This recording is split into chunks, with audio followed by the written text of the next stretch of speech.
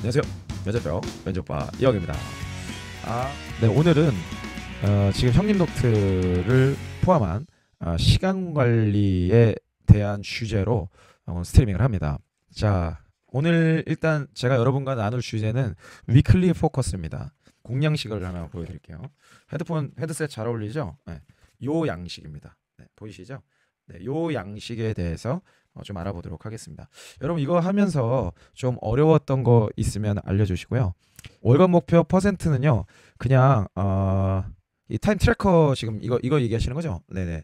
이건 어떻게 하시면 되냐면 그냥 아, 저 monthly focus에서 영적, 지적, 사회적, 신체적 영역을 이제 시간으로 목표로 잡잖아요. 그걸 그냥 적으시면 돼요. 자, 그러면 오늘 내용을 계속 보도록 할게요. 자, weekly focus라는 내용은요. 여러분들이 그 monthly focus를 하잖아요. 그 여러분들의 monthly focus를 주간으로 쪼개는 거예요. 아, 그러니까 월간 목표를 달성하기 위해서 이번 주에 어떤 일을 할 거냐, 어떤 과제를 해결해야 되고 어디다가 시간을 쓸 것이냐, 그거를 정리하는 거가 어, weekly focus의 핵심적인 내용이라고 말씀드리고 싶습니다. 그래서 여기 주간 목표는요 세 가지 이상을 쓰지 않는 게 좋아요. 어, 세 가지 이내로만 쓰시고 그리고 어, 가급적이면 목표를 어, 스마트하게 작성하는 것을 계속 연습을 하셔야 됩니다. 그래서 이게 정리가 안 되면 사실 피드백할 때 되게 어려워요. 여러분들이 피드백 skill이 훈련이 되려면 애초에 목표 수립 자체가 스마트하게 작성이 되게 되겠죠. 그래요. 어 그래서 weekly focus를 작성하실 때 되게 중요한 거 지금 요 위에 칸 이게 지금 제가 A4 용지로 뽑아놓은 건데요. 요 위에 보면 어, 주간 목표를 적게 됐잖아요.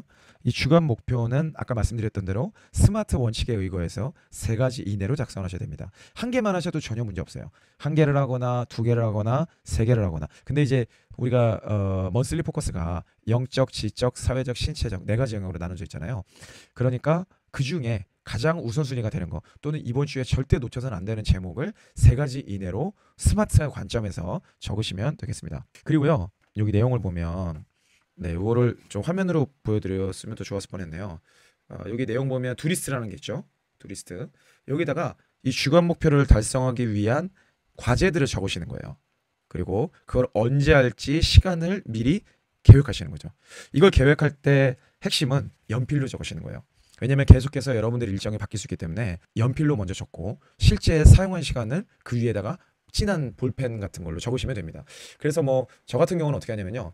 연필을 쓰고 그 시간을 뭐 계획대로 썼다면 그 위에 쓰지 않고 그냥 동그라미만 딱 쳐놓습니다. 그럼 나중에 주간이 168시간을 다 쓰고 나서 내가 계획 대비 실행을 몇 프로나 했는가 그때 동그라미 숫자만 세서 나누기 168 하면 네, 계획 대비 실행률이 숫자로 나오게 되는 거죠. 그래서 여러분들이 이거 저기 time tracker라는 거를 계속 쓰시다 보면 이제 요령이 생겨요. 한 달만 해보면 애초에 목표를 어떻게 세워야 되고 어떻게 수치화를 해야 나중에 피드백이 되는지 예, 이런 것까지 여러분들이 노하우가 많이 생기실 겁니다. 그래서 한 달만 딱 해보시면 돼요. 제가 한 달이면 충분하다는 거를 이미 임상 실험을 통해서 어, 확인을 했습니다. 그리고 요 가운데 있는 거 어, 두리스트 밑에 있는 요 네모 여섯 칸은 뭐냐면요 체크리스트예요. 그러니까 목표와는 상관이 없지만 내 삶의 균형을 잡기 위해서 꼭 필요한 내용들. 그러니까 저 같은 경우는 뭐 아침에 일어나서 책 읽는 시간, 그리고 기도하는 시간, 운동하는 시간, 요 세 가지를 체크리스트에 넣어놓습니다. 그래서 예시를 좀 보여드리면 이렇게 되어 있는 거죠. 보이시죠? 그래서 여기 보면 큐, 기, 운 이렇게 한 글자씩 집어넣고 어, 진행한 것과 못한 것을 체크 표시를 하는 거죠. 그 나중에 요것만 잘 네, 확인하셔도 여러분의 삶의 균형 또는 절대 놓쳐서 안 되는 것을 잘 잡아가실 수 있을 거예요. 그래서 여기 밑에 보면 요 내용에다가 여러분의 계획 여기에 과제를 달성하기 위한 계획을 미리 적으시고 이걸 언제 하면 좋냐면 어, 일요일 저녁에 하시면 좋아요. 그래서 다음 주에 계획 목표를 먼저 수립하고 그 계획을 언제 할지를 미리 연필로 한번 쭉 도팅을 하시고 실제로 그 한 주를 그렇게 살아내 보는 거죠. 그래서 사실 어 먼슬리 포커스가 어, 위클리 포커스에 잘 이렇게 분해가 되면 그 안에서 자연스러운 목표 관리가 되는 거예요. 그래서 시간 주간의 목표를 다 달성하면 월간 목표가 달성되는 형태로 미리 계획을 짜는 거죠. 그래서 여러분들이 이게 아무것도 아닌 것 같아도 이게 쌓이잖아요. 그러면 목표를 시간 또는 숫자로 관리하는 거가 아주 익숙해지는 네, 그런 효과가 있습니다. 그리고 요 밑에 있는 내용은 뭐냐면 여기 밑에 이렇게 음영으로 되어 있는 거, 네, 요, 요 부분은 내가 그냥 이번 주 살아가면서 나에 대해서 깨닫게 된 거, 나의 내가 발견한 나의 강점 또는 나의 약점, 당연히 이렇게 하면 안 된다. 또는 다음부터는 반드시 이런 걸 놓쳐서는 안 되겠다. 이런 것들이 어, 포함되는 거가 예, 좋을 것 같습니다. 그래서 저 같은 경우는 여기 뭐라고 썼냐면 형님 노트를 안 쓰면 basic은 깨진다 이렇게 적었어요. 형님 이 형님이 만들고 이 형님이 쓰는데도 형님 노트를 안 쓰니까 basic이 깨진다. 저에게 basic은 아까 체크리스트에 있었던 그런 것들입니다. 그래요. 시간표 짜고 보고 진짜 시간이 없는 걸 확인하면 충격이 있어요. 그러니까 형님 노트에서 이 time tracker를 하다 보면 제대로 해보면 여러분들이 기본적으로 충격을 받게 돼 있어요. 충격을 받으면 여러분들 제대로 하고 계신 겁니다. 그래서 충격만 받고 끝나면 안 되고 그거를 어떻게 그럼 다음 주부터는 목표를 달성하는데 시간을 바꿀 것인가 여기에다 시간을 쓰시는 거가 굉장히 중요하겠죠. 진짜 직장인분들이 쓰시기에 더 좋아요. 왜냐면 제가 이것도 회사에서 배운 거고 근데 그렇다고 해서 취준생분들이 이거를 뭐 못 쓸 거냐 그런 건 아니고 취준생분들도 여러분들이 뭐 대단한 목표 관리를 해볼 일이 사실 별로 없잖아요. 근데 내 삶의 시간을 계속해서 분해하고 그 안에 목표를 설정하고 거기에 자원을 넣는 거. 그래서 목표를 달성해내는 거 경영의 큰 원리라고 말씀을 드렸어요. 그런 내용들을 내 삶을 통해서 계속해서 insight를 얻고 또 새로운 액션들을 해보는 거. 이런 것들이 사실 굉장히 큰 도움이 된다고 네, 말씀드릴 수 있겠습니다. 네, BWS님 거기에 적어둔 것은 노트 다 쓰고 따로 옮겨서 정리하시나요? 저는 여기는 뭐 그런 내용이 있다면 적으셔도 되고요. 오히려 여기 그 다음 페이지에 있는 요 성공 실패 리스트 네, 여기 있죠 여기 있죠 네, 여기 성공 실패 리스트 요거를 오히려 어, 다른 노트에다가 기록해 보시길 네, 좋을 것 같습니다. 이게 이게 누적이 되면요, 여러분의 강점, 또 여러분의 실패 사례 이런 것들 되게 말하기 어려운데 그런 내용들이 어, 차분하게 잘 반영이 될 것 같습니다. 성공 리스트에 쓸 게 없어서 머리를 쥐어짰어요. 너무 어렵게 생각하지 마시고 내가 어, 목표로 했던 내용을 달성했다. 그러면 그냥 그거 적어보시면 될 것 같아요. 음. 근데 바코드는요, 어, 제가 이 부분을 강의를 한 내용이 있어요. 그거를 잘라서 지금 연결해 놨습니다. 그래서 그 이거 쓰시다가 조금 어려우면 요거를 핸드폰으로 찍어서 유튜브에 연결된 영상을 보시면서 어, 따라하시면 되겠습니다. 자, 오늘 여러분들이 저 weekly focus를 어떻게 쓰고 계신지 또 우리 리모버 분들에게 음, 추천받으신 어, 몇몇 분들의 사례를 한번 보도록 하겠습니다. 그 본계적을 쓰려다 보면 처음에 쓰면 쓰기 어려울 수 있어요. 근데 계속 쓰다 보면 그걸 쓰기 위해서 뭘 해야 될지 이런 것들을 또 생각하게 되거든요. 그래서 여러분들이 어, 기본적으로 나의 어떤 관찰력 그리고 그 관찰한 내용에 대한 해석력 이런 것들을 계속해서 보실 수 있게 될 겁니다. 자, weekly focus 오늘 이제 하신 분들 몇몇 분의 사례를 보도록 하겠습니다. 마케팅 1팀의 전하은 씨 형님 노트 1주차를 보냈습니다. 자, 이렇게 쓰시면 되는 거예요. 그러니까 나름 이게 잘 작성하신 분들의 내용을 이렇게 공개를 하고 있는 겁니다. 어, weekly focus에서 기타와 버리는 시간에 대한 구분이 다소 어려웠군요. 자, 기타는 뭐냐면 내 목표와 상관없는 시간이에요. 예를 들면 어, 밥 먹는 시간. 그러니까 밥 먹는 시간을 목표로 잡으시는 분은 별로 없잖아요. 그리고 뭐 이동 시간 또는 뭐, 뭐 씻는 시간. 뭐 이런 시간이 그냥 기타와 관련된 시간이라고 보시면 되고 버리는 시간은 어떤 거냐면 나는 이 시간이 진짜 싫어. 나는 이 시간을 쓰고 싶지 않은데 하다 보니까 어쩔 수 없어. 요런 내용을 적으시면 돼요. 예를 들면 나는 자기 전에 유튜브를 보고 싶지 않은데 유튜브를 보다 보니까 2시간, 3시간을 봐버렸어. 그러면 그거는 기타가 아니라 버리는 시간으로 특별하게 빼놓고 관리하는 겁니다. 그래서 그 시간을 계속 관리하기 위해서 시간을 쓰는 거죠. 그래서 아직 부족한 이분이 이제 스스로 피드백 하셨는데 아직 부득 한 것이 많지만 확실히 시간이 제한적임을 인지하고 효과적으로 써야겠다는 생각이 드니 일주일의 계획과 목표를 잘 세우고 싶어졌습니다. 그런데 스마트하게 세우는 방법이 아직은 어렵습니다. 그렇죠. 이게 처음부터 이렇게 잘 되진 않아요. 그래서 여러분들의 사례를 계속 보면서 가면 될 것 같습니다. 그리고 버리는 시간은 목표와도 상관없고 오히려 목표를 방해하는 시간이죠. 여러분들이 회사 생활을 하다 보면 이런 경우가 되게 많아요. 그래서 이 시간을 별도로 관리하고 이거에 아예 들어가지 않는 그런 시스템을 갖추는 거가 성과 내는 사람들의 특징입니다. 자, 그래서 어 우리 하은 씨 거 내용을 보니까요. 여기 위에다가 이렇게 어, 목표 관리의 최소 단위, 실체, 결과 이렇게까지 아주 디테일하게 잘 적으셨네요. 그래서 이분의 어, 주간 목표는 매일 아침 경일남 들으며 운동하기. 하, 이것도 박수 한번. 아주 훌륭하신 분입니다. 아, 이분, 이분 뭘 해도 되실 분이네. 경일남 들으며 운, 잠깐만. 경일남에 집중을 해야지 운동을 하면 어떻게 해. 경일남을 들으면 경일남에 최선을 다해 거기에 와가지고 말이야 같이 이렇게 얘기도 하고 어 채팅도 하고 뭐 이래야지 지금 아니 경일남 들으면서 운동을 하면 어떻게 합니까? 어? 경일남에 집중을 하세요. 지금 아 참 나 이거 하지만 경일남에 매일 오셔. 손, 손 터는 거야. 아니 그런 건 아니고. 아 그런 건 아니야. 아 박수현수 그런 거 아니야. 그런 거 아니야. 어 그래도 경일남을 보니까 매일 들어왔네. 어 매일 들어왔어. 어 아주 훌륭합니다. 그래서 이번 학기 리듬 이게 뭐죠? fixed하게요? 이게 무슨 소리인지 잘 모르겠지만 어찌됐건 이분의 지금 목표야. 지금 요 목표를 보면 매일 아침 경읽남 들으며 운동하기. 이거는 굉장히 스마트하죠. 그죠? 구체적이야 매일 아침 경읽남 운동하기 근데 2번은 이번 학기 리듬 fixed 하기 근데 이거는 좀 스마트하지 않아.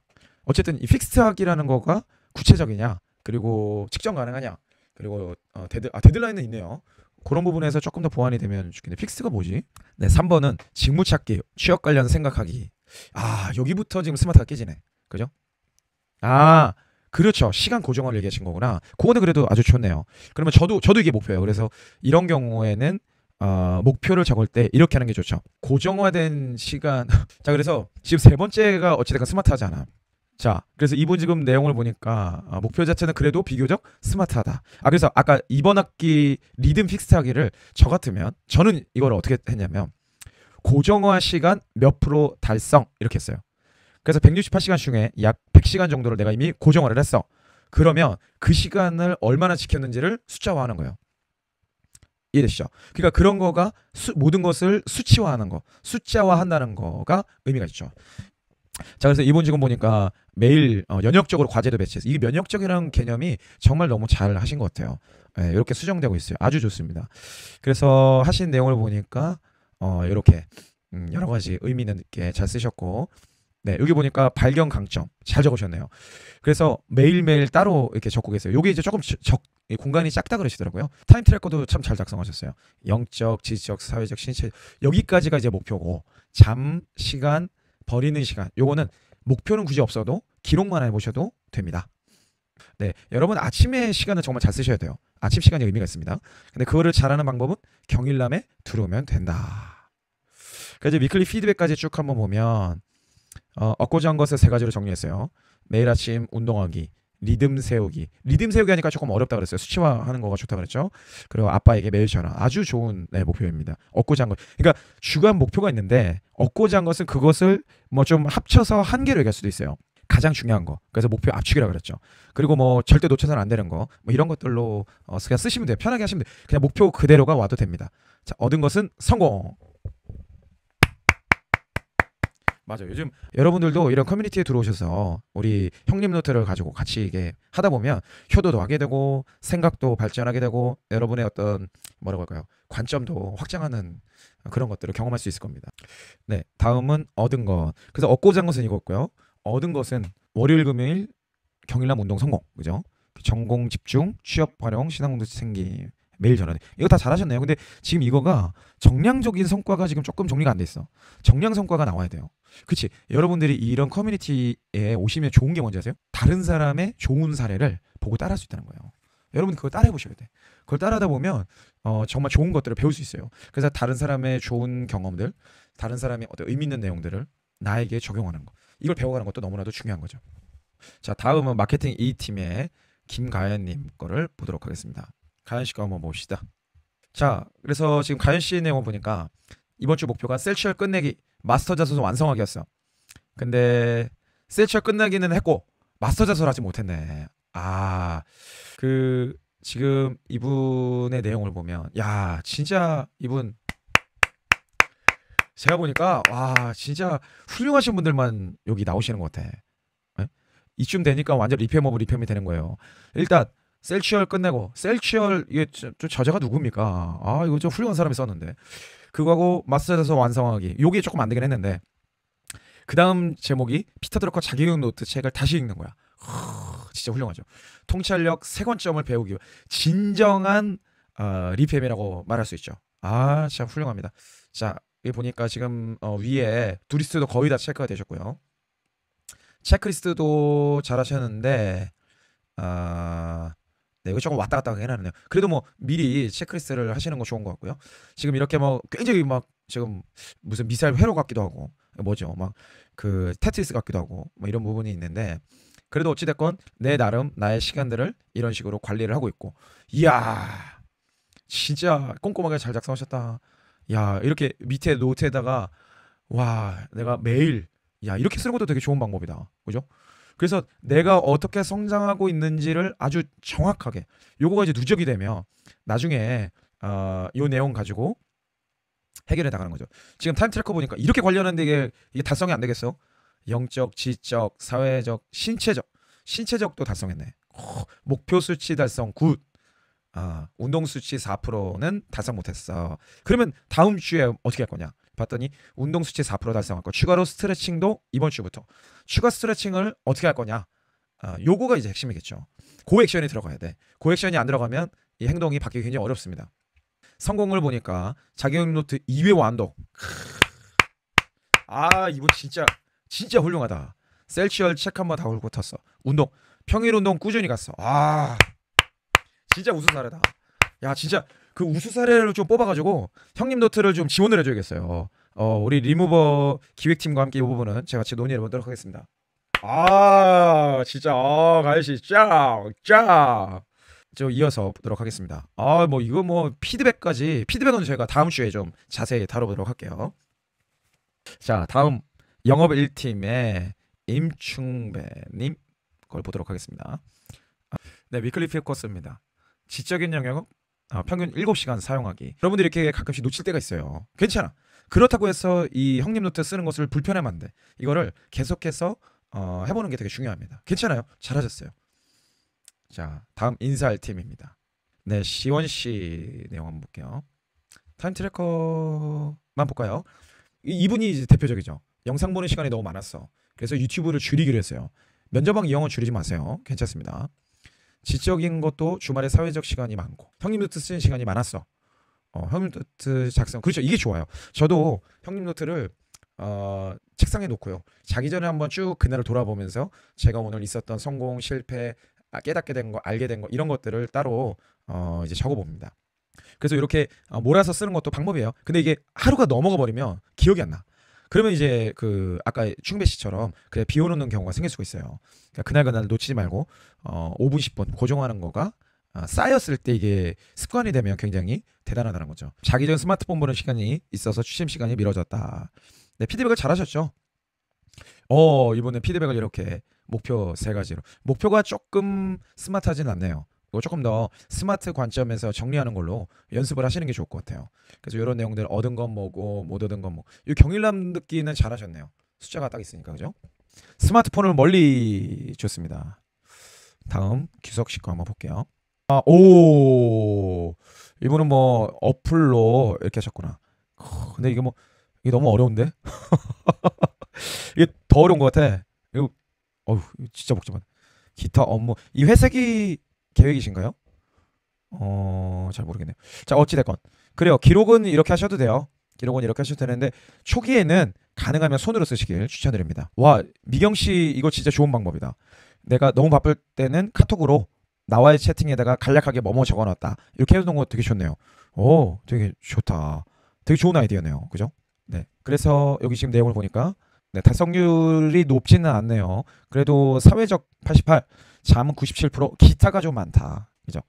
그래서 이 부분을 어, 잘 정리하는 거 이런 것들을 찾아가시면 네. 이동 시간 활용률, 이동 시간을 잘 쓰는 것도 아이디어겠죠. 그때 뭐 경일남을 읽든지 듣든지 또는 뭐 책을 보든지 시간을 분석하든지 다른 것들을 이제 여러 활동으로 해보시는 거가 되게 좋을 것 같아요.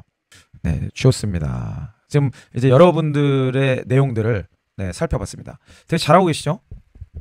네, 많은 분들이 형님 노트를 조금씩 활용하고 이제 계신 것 같고, 어, 이제 이 커뮤니티가 좀 더 커졌으면 좋겠어요. 더 많은 좋은 사례들, 그리고 따라할 수 있는 거, 그리고 이렇게 하면 실패하더라, 이렇게 하면 시간이 날아가더라, 이런 것들을 조금 더 우리가 잘 찾아서 어, 해결했던 노하우들, 사례들이 이 커뮤니티 안에서 계속해서 나왔으면 좋겠어요. 여러분, 힘들다고 생각할 때 혼자 계시지 마세요.